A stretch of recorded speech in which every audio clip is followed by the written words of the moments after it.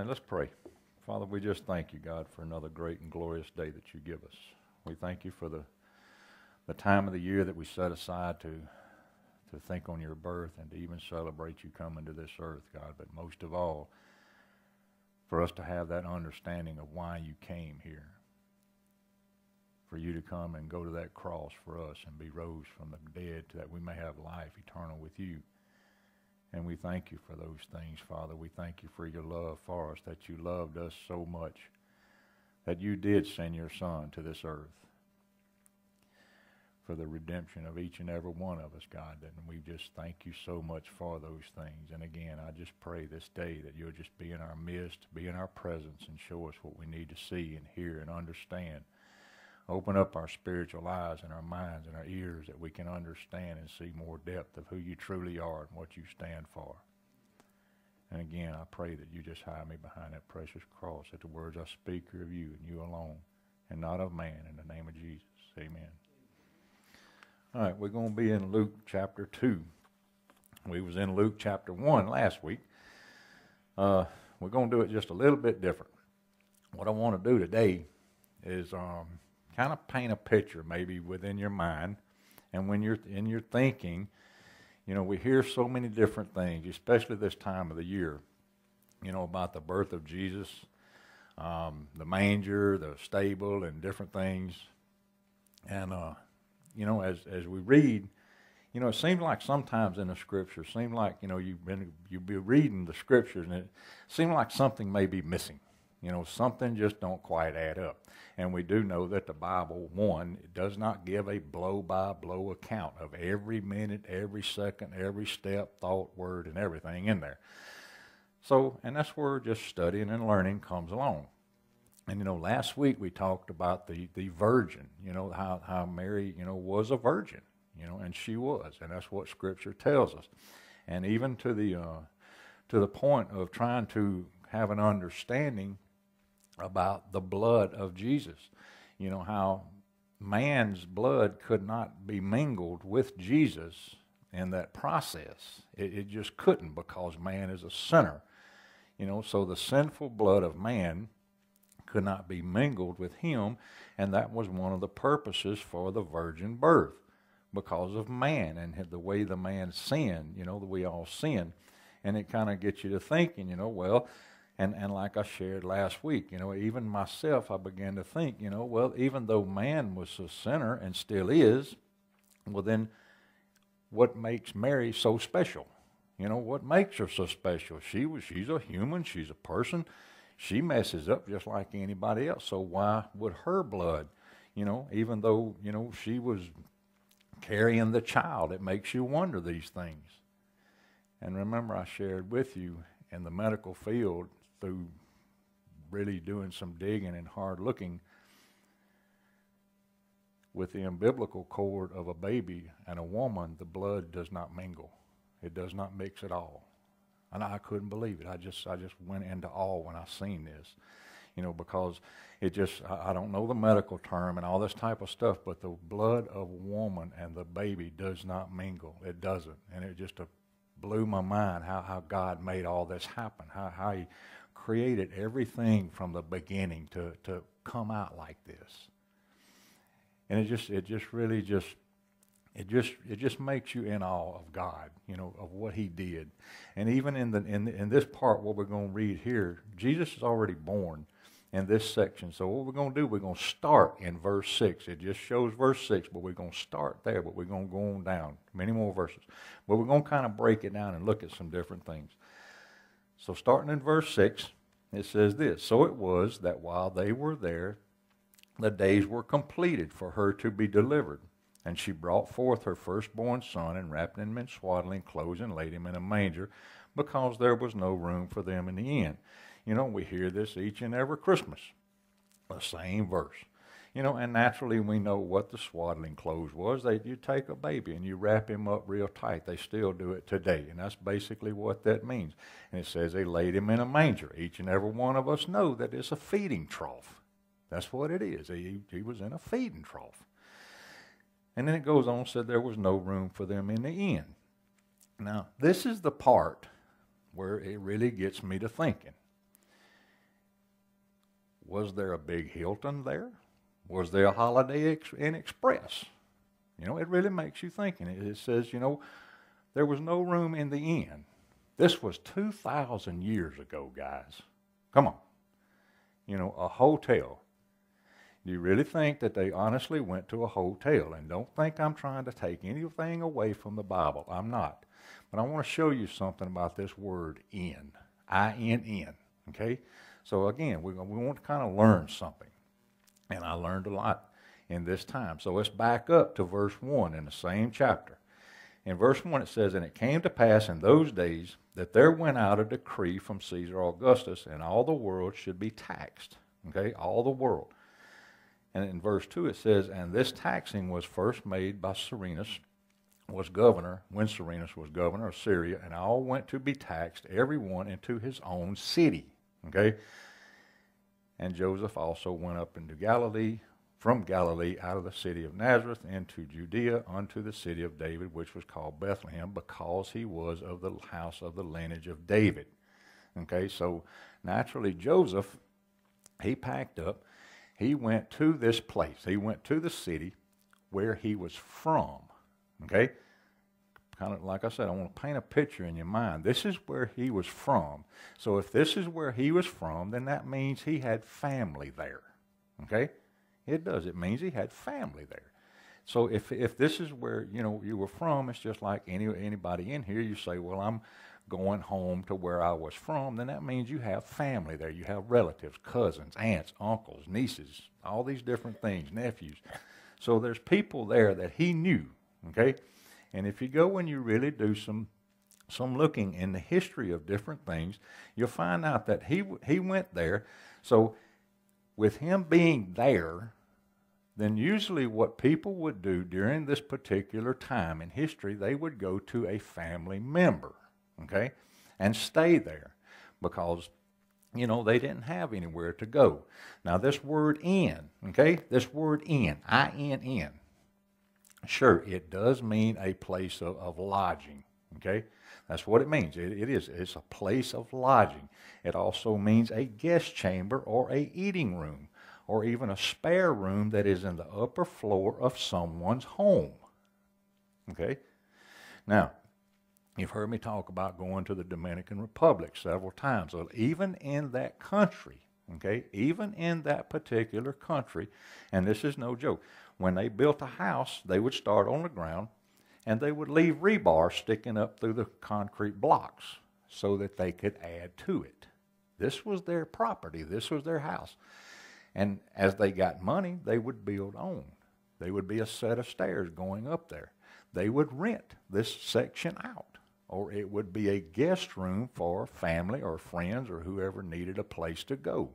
And that's that, it reminded me of that. And the reason, and another reason for this, you remember whenever Jesus went and had the Passover.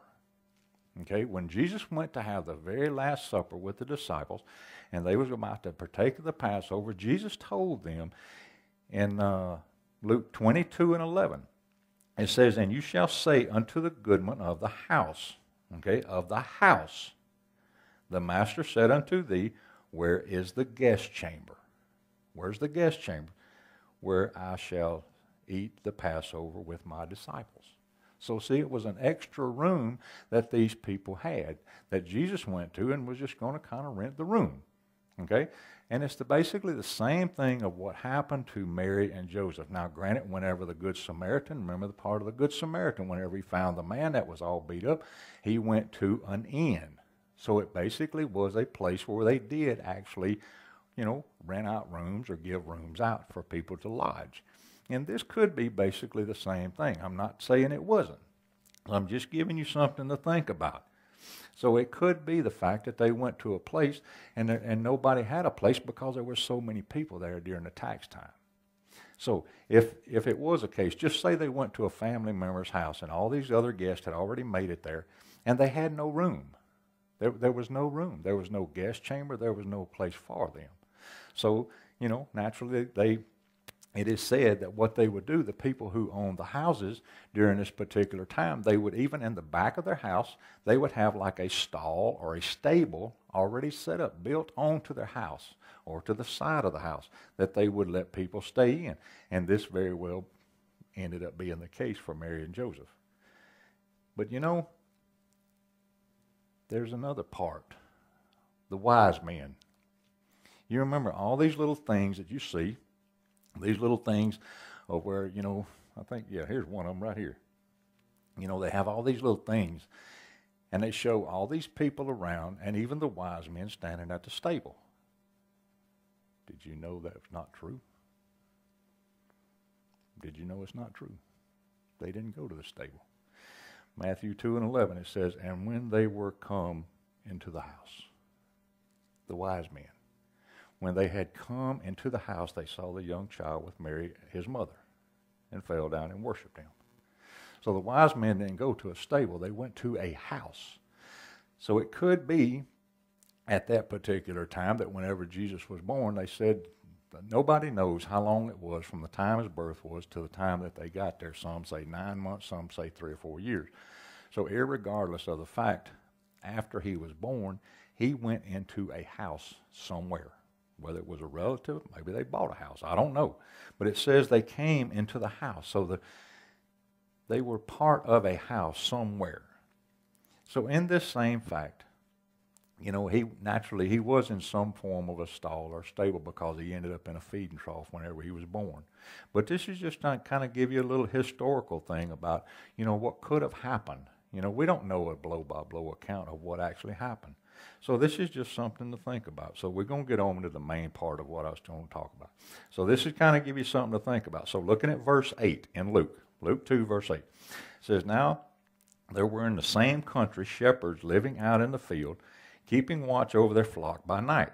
And behold, an angel of the Lord stood before them, and the glory of the Lord shone around them, and they were greatly afraid. So it begins talking about shepherds. A shepherd, you know, was a herdsman. That's what it was. He was a herdsman. And it also said that a shepherd was also one that cared a lot.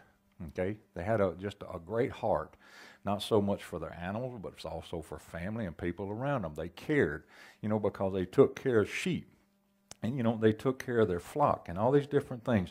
But did you know that during this particular time in history, shepherds were one of the most hated people in that time. They hated shepherds. The Egyptians, the Romans, anybody that was a shepherd was the lowest thing on the totem pole. I mean, they were they were hated because they would go out. The the they they would go out and a sheep would go in and they would just start eating up the fields and everything that the that the farmers would make. If you even look in, in, in, in, past history, just even during cowboy times, okay, let's, let me use that phrase. Everybody knows that one. They were hated then. You know, anybody that dealt with sheep, they just, they just did not like them. They didn't, they didn't like dealing with them. They didn't like fooling with them or anything because of, they would just let them roam around and eat up all their crops and fields and all this type of stuff, and they were hated. And if you look through, the, through history of the Old Testament, Many, many of your great patriarchs in the Old Testament were shepherds. They were. Abraham was. Look at King David, the king, the king of Jerusalem, from the you know the lineage of David, the great king. Who was he? He was a shepherd. Remember all the little tales where it says he killed a lion and a bear? And he was a shepherd. What did he do? He ended up being a king. But still, people just hated shepherds. They just did not like anything about them. Did you know that the first, the, the first, do you know the first shepherd that was ever actually killed? The first shepherd that was ever actually killed in the Bible. He was killed. He was literally slaughtered. Genesis 4 and 2, it says, Then she bore again, talking about Eve. This time his brother Abel, now his now Abel was a keeper of sheep and Cain was a tiller of the ground. Farmers hated shepherds from that time all the way forward. They did. They just despised them. They didn't like anything about them. So it kind of makes you wonder you know, about things. Even the Bible says that Jesus, Jesus himself called himself a shepherd. In John 10 and 11, he says, I am the good shepherd. The good shepherd. Did not people hate Jesus? Many people hated Jesus. And he goes on, said, The good shepherd gives his life for his sheep. Hebrews 13 and 20 says, Now may the God of peace, who brought up our Lord Jesus from the dead, the great shepherd of the sheep, through the blood of the everlasting covenant. Jesus was a shepherd also, and he was. What did he do? He loved, he cared about every one of us. Even in 1 Peter 5 and 4, and it says, And when the chief shepherd, See, he was called a great shepherd. He was called a chief, chief shepherd. Even himself said it said he was a shepherd. So when the chief shepherd appears, you shall receive the crown of glory that does not fade away. So he was even a great and a chief shepherd.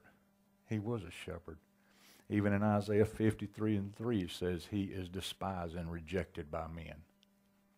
So even people rejected the most great shepherd that ever was the one that was born, the one that we're talking about today. After he was born, people didn't even know it, but he was going to be such a great shepherd and even be despised and hated. The shepherds were hated also. All shepherds were hated. Even today, even today, people reject shepherds. Even people today re- re- reject the great shepherd, Jesus Christ. You know, even today, because even in John 3 and 19 it says this, and this is the condemnation that the light has come into the world.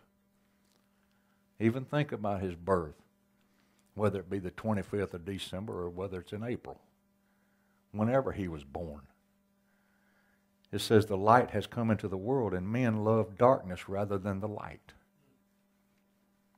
The light of the world did come into the world and men today still reject him and hate him It says, because their deeds were evil, for everyone practices evil hates the light. Anyone that practices evil hates the light. So it kind of makes me personally think about things. The things that we do. The things that, you know, even maybe even that, that we even think. And it says, and does not come into the light, lest his deeds should be exposed. But he who does the truth comes to the light, that his deeds may be clearly seen, and that they have been done in God.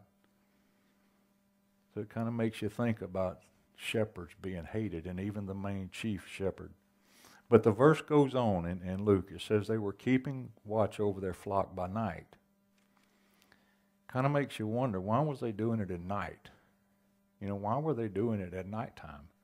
It says they were keeping watch over their flock by night. So it kind of makes you wonder. And I'm going to throw this in there just to give you something to kind of think about. If it was nighttime over in Jerusalem, Bethlehem, and, and they were there and they were watching their flocks, okay? It says they, so they were a, many of them, a few of them, or several, ever how many they were. And it says they were watching their flocks by night, then it wouldn't be cold. It wouldn't be cold in the wintertime over there to my understanding when it gets cold and i can i can kind of not relate to this but i can share something with you. My daddy told me because he worked in kuwait for several years.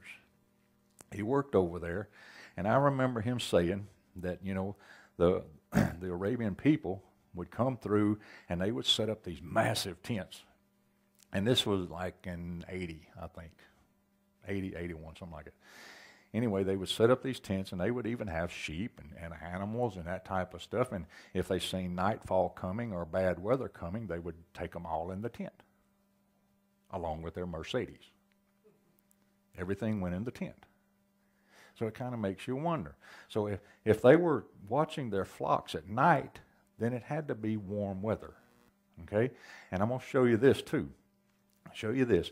In the book of Ezra, okay, in the book of Ezra, in chapter 10, in verse 9, it says this And so all the men of Judah and Benjamin gathered at Jerusalem within three days.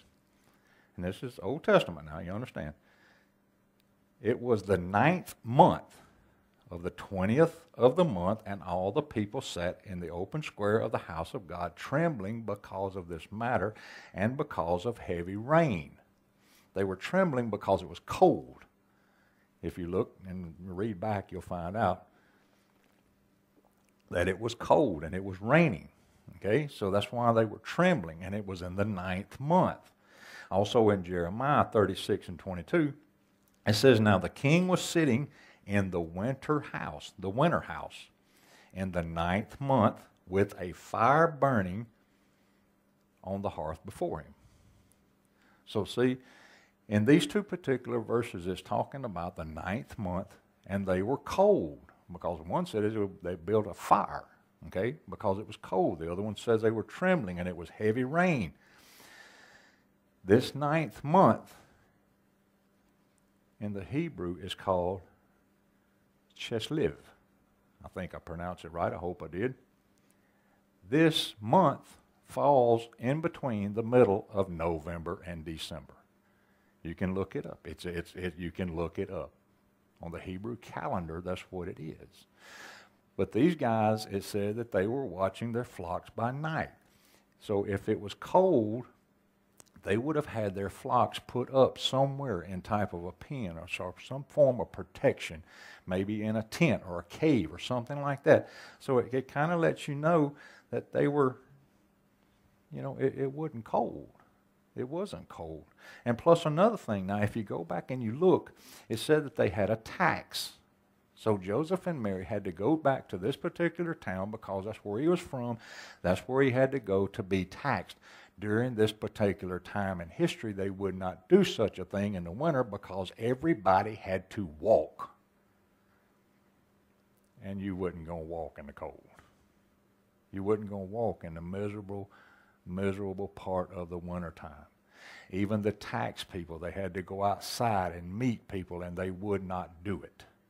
Even the king himself, they would not go outside. The, the, the one who initiated the tax, they wouldn't go outside because where, what would they be doing? They would be inside by a fire warming. They wouldn't do, they didn't do all this stuff in the wintertime. They done it in the spring or the summer when people could easily get out and travel because they had to walk. Now, in, in this particular time, understand it is, uh, it, is, it is said that a man can walk basically 20 miles in one day. And that's basically all he could travel. So you figure, look how far Mary and Joseph, it said they'd done this for a couple of days in their travel, and other people, how they had to travel these distances to get to these taxes. So it kind of gives you some thought. Just something to think about. Just want you to think about it. So it kind of paints a little bit of a picture of what's going on. And even in that particular verse, in, in, in, Luke again, chapter 2, it says, The glory of the Lord shone around them. Now, in, in a commentary named the Pulpit Commentary, I want you to kind of picture this in your mind. You know, here, here they were out in the field, they were feeding their flock. And, and all of a sudden, there's this glory of God just shone around them. In the pulpit commentary, it says this the white shining cloud of intolerable brightness. Think about it. The intolerable brightness, known among the Jews as Shekinah. You've heard that word, Shekinah, which Shekinah glory, which it means dwelling or settling. So his glory came and dwelled or even settled around these guys. Possibly some women there, I don't know. And it says they settled. And it denotes the dwelling or settling of a divine presence of God. Can you imagine being out in a field? You're sitting there with your buddies, watching your sheep. Maybe had a little fire just for light or, or whatever. And all of a sudden, this massive, bright light just shone all around. I mean, just shone all around. And, and you look and you just see just, just such a massive, bright light. And the verse goes on, said the visible token of the presence of the eternal. Really picture this in your mind. The visible token of the presence of the eternal. Just, just like Moses in the bush or the pillar of fire and cloud which guided the desert dwellings. In other words, the people who were in the desert. And you, you know how that went. And even in the tabernacle and the temple. Remember where it says that his glory was so thick inside there that they couldn't even walk in that the power and the glory of God was so thick inside that temple they couldn't even enter in. And it said it even shone around the Redeemer on the mountain of transfiguration. Can you imagine Can you imagine these guys out in this field, and all of a sudden, this massive, bright, illuminating light just comes around, just comes around them. And they're just sitting there looking and looking and just being so surprised. And even in verse 10, going on, so you can kind of understand why they were afraid. And it says, Then the angel of the an angel said to them, Do not be afraid. Don't be afraid. Can you imagine that angel? You're sitting, you're standing there, or maybe sitting, and all of a sudden you look and it, there's an angel standing there. You know, many people think that when an angel appeared in the Bible, that they just, just they, they could hear something and nothing was there. But it says that the angel was standing there. It said he was standing there. The angel stood there. And here in verse 10 it says, The angel said unto them, Do not be afraid, for behold, I bring good tidings of great joy, which will be to all people, to everybody. It come to everybody.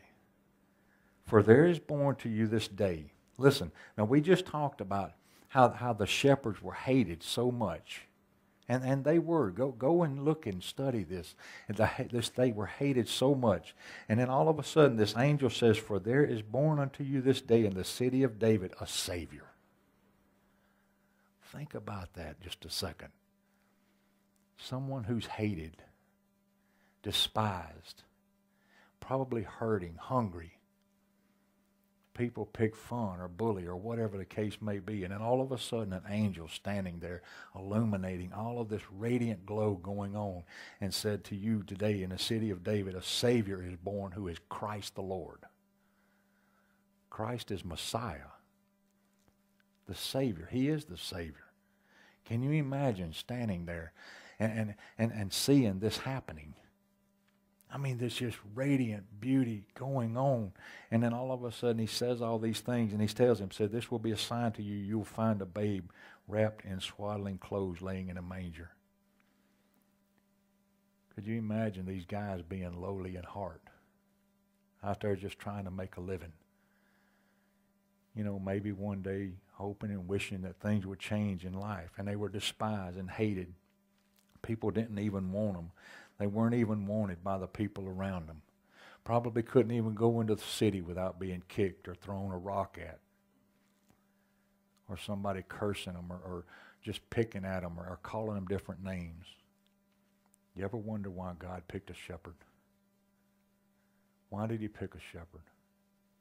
The lowest person on the totem pole in the world is the one he picked there were priests out there in this particular time, and you know this, that could probably quote Isaiah from one end to the other. Or some of the old patriarch scriptures that were in the in the roll-up scrolls that they had. Some of the most guys in there that in, in, in the church probably had more wisdom than than these shepherds did. Probably probably could could write their name, and the shepherds probably couldn't even didn't even know how to spell anything. Why didn't the guy go? Why didn't God go to them? You ever wonder why didn't God go to them? Why did He pick these these little shepherds? You know, and everyone may say, "Well, he, he, you know, that's what Jesus was. That's that's the way Jesus was. That's that's what God wanted. He He wanted to to pick the lowest one, and that's true." Do you know that whenever the wise men came and told Herod, said, "We're going, we're fixing to go find this king. We're fixing to go find this Savior, this Messiah. We're fixing to go find this dude." And then he left, and what did he do? The first thing Herod did, jumped up and wanted to kill every one of them. Because a king had been born and was probably going to take his place. Somebody who was who was messing with, with you know his authority, about to come in and take over. And even Jesus said one time, and I love this verse. Even Jesus told the people one time, and this is in Mark 2 and 17. He says, When Jesus heard it, he said to them, Those who are well have no need for a physician, but those who are sick. I did not come to call the righteous, but sinners to repentance. He call, he come to call the hurting, the ones who hurt, the ones who truly want relief, the ones who truly want to be saved. And friends, I'm not just necessarily talking about salvation and going to heaven. Salvation means a multitude of things. Salvation isn't just get me out of hell and keep me in heaven. It means a multitude of things. Save you from hardship, pain, hurt, all of these different things. You know, will God take everything away? Will He take away all the suffering and the hurt and pain? No, but He'll make it easier. He'll make it easier in your heart because of the fact you know where it's coming from. Where it's coming from. I told a little girl yesterday, I was sitting and sharing with one of my grandchildren, and they were hurting, and they, and they were kind of telling me some different things, and I told them, I said, baby, I said, go to Jesus. I said, he, he, he can fix it. He can make it better. And she didn't understand, but when she did understand one thing, and that was prayer. Go to him, talk to him. Tell him what's going on. He can make you feel better.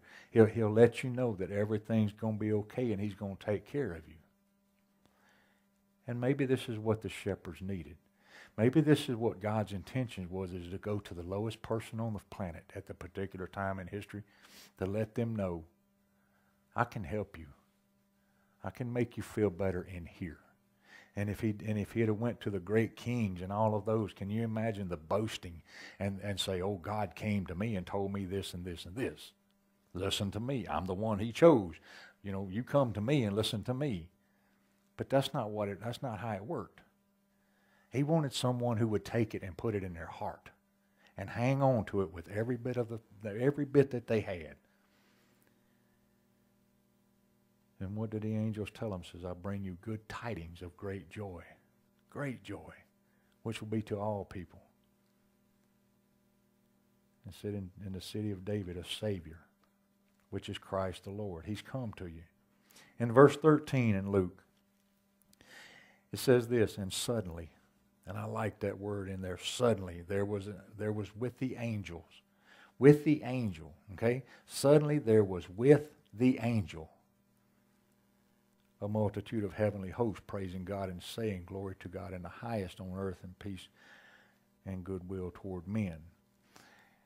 And many people, even in this particular verse, would think, you know, there was an angel standing there, and then all of a sudden, in the bright clouds and everything, you, you see all these, you know, just, just a great glow. Nobody's seen the angel, but that's not what it said. That is not what it said. It said, and suddenly there was with the angel what did we just read? And the, in verse 9 it says, An angel of the Lord stood before them. They seen this angel. They seen him. It wasn't just some vision that the angel was standing there. And what did it say? And suddenly there was with the angel. So all of a sudden there was this great multitude.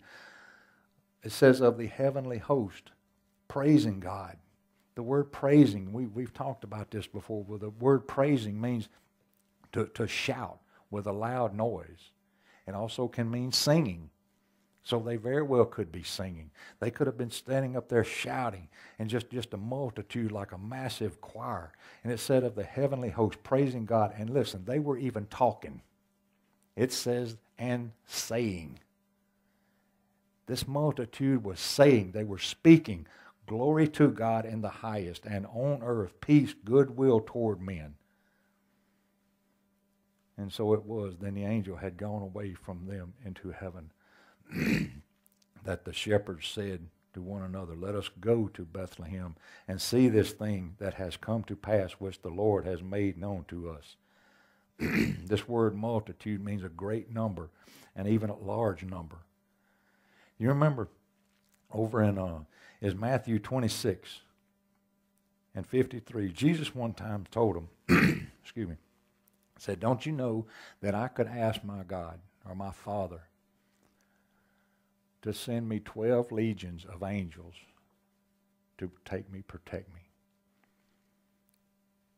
If you look everything up and do the math, 12 legions of angels would be approximately somewhere around 80,000. 80,000. And you know, if you really look and study that particular verse, he didn't even ask for all of them. He didn't. He didn't ask for all of them. He said, Don't you know that my God would just send me 12 legions of angels? He didn't even ask for all of them.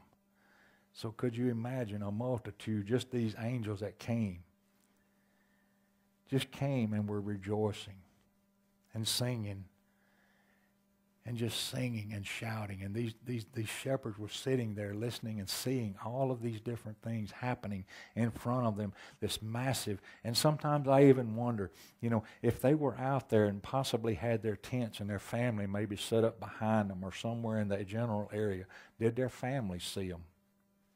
If all of a sudden this great massive glow this radiation of God. And there was this multitude and of this heavenly host up there singing and shouting and praising God because of the birth of the Son.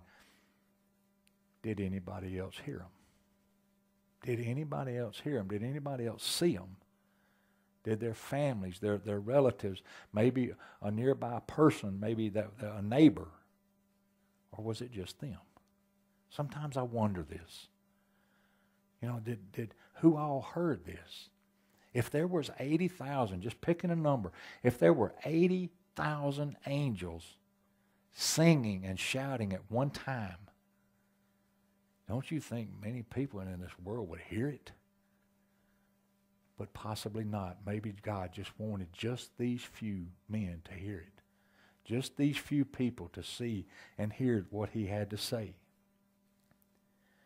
And even there's one other place in the Bible that's even said that when one person repents, that when one person repents, that the angels in heaven rejoice. One person. Just one person, the angels in heaven rejoice. Could you imagine that one particular day, whenever Jesus is born, all of these events begin taking place? And in verse 16 it says, And they came. They came with haste. This, main, this word haste means in speed, an urge to go and an urge to, to, to go on and do what needs to be done. And they came with haste and found Mary and Joseph and the babe lying in a manger. Now, when they had seen him, they made widely known the saying which was told to them concerning this child. So it kind of gives you the impression that they were the only ones that seen it the only ones that heard. So they made widely known the sayings which was told to them concerning this child. And all those who heard it marveled at those things which they told them by the shepherd that were told to them by the shepherds. So see, these guys left. These guys went in. They found what the angels had told them. And they began to rejoice and shout. And what did they do? They left and they went and told people. They went and told people what was told to them, what they seen. So the news began to spread.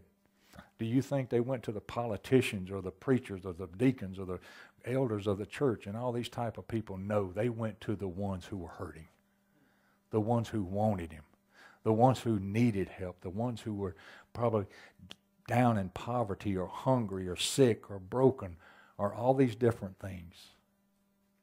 That's who they went to. That's who they went to to tell all of these different people.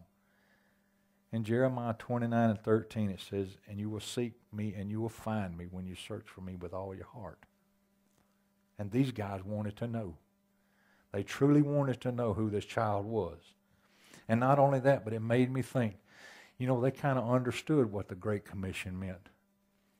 Go ye therefore into all the world Go to all the world. Tell him, tell the world about who he is. And what did they do? It says that they went out and they done this. Even about this child.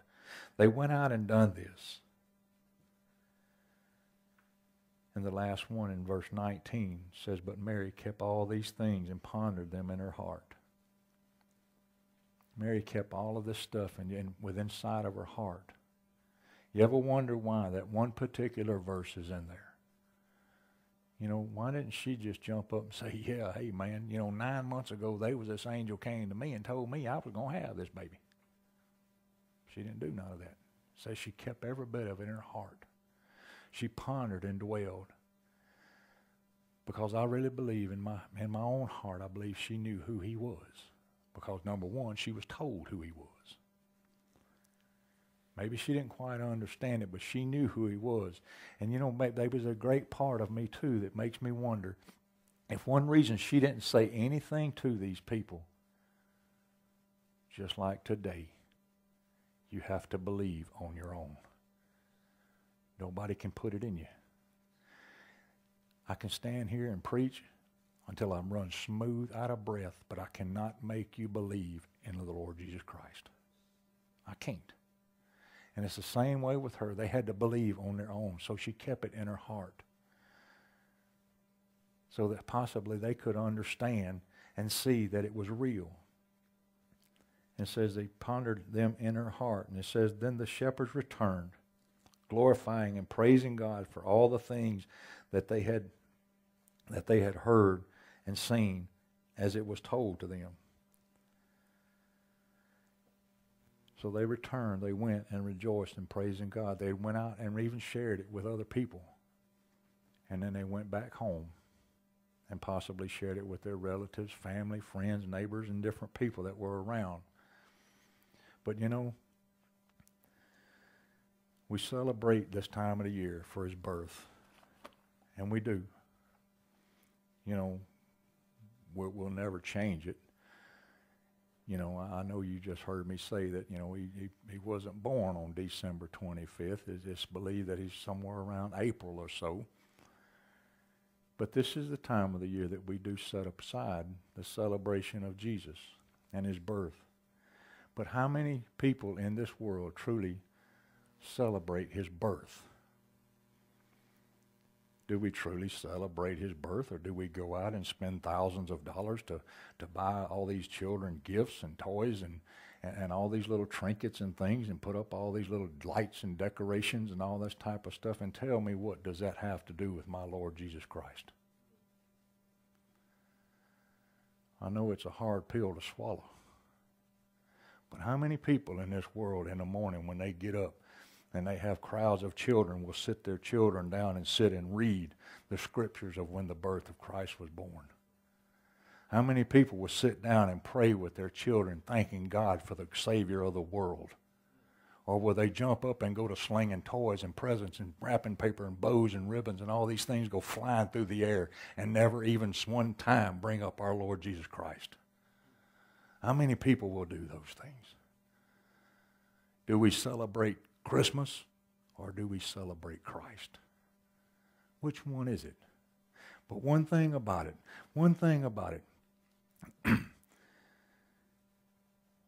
and I do, I, I, I'm glad to celebrate the birth of my Christ. I am.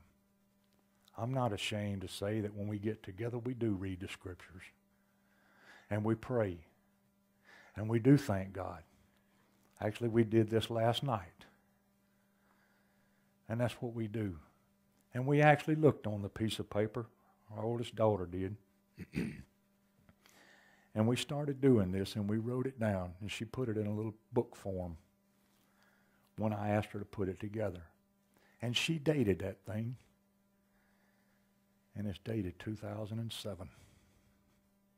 We've been doing it now for 10 years. Every Christmas. And you know, it touches my heart I know that many times that whenever we do it, and it's sad to say it lasts about 15 minutes and it's over. You know, but we do it. We plant a seed. But this is the point I'm getting at. We celebrate his birth. and you know, in a few months there'll be another holiday come around. And you know, the sad part of it is, it's the same way. The same way. We give trinkets, we give toys, we give gifts, beautiful color, and all this type of stuff, and never celebrate his resurrection. This baby was born to die. That was his purpose in life. Our God the Father sent him down here to this world to be born, yes, of a virgin, for the purity of his blood and the purity of who he was and who he is. But he was sent here to die on a cross. He went to the cross for us, and he died on that cross.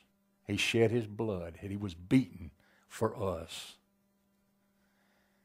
And his Father rose him on the third day so that we can see that we can have eternal life, so that God could show his power through his Son.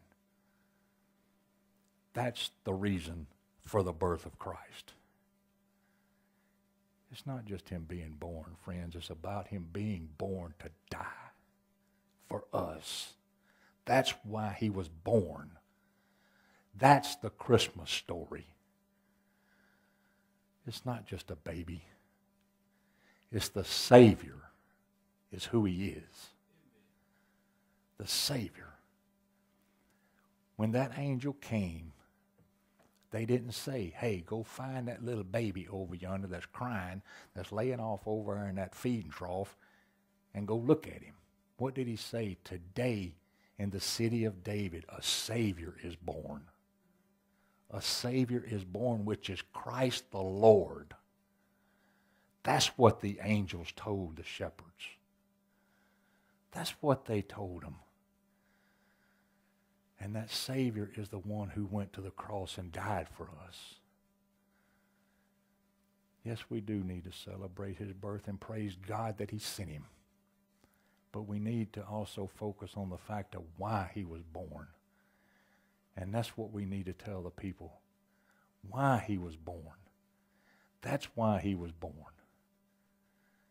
And we need to do like the shepherds did, leave praising God for who he is and what he did.